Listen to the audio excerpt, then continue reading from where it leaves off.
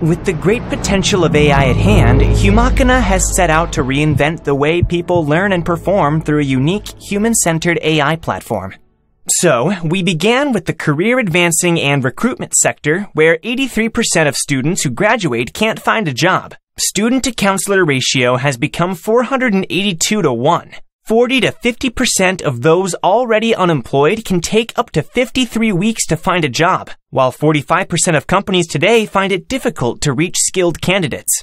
So, to tackle these issues, Humachina created Marvin to bring together universities, job seekers, career advancers, employers, recruitment agencies, and MOOCs providers to one platform.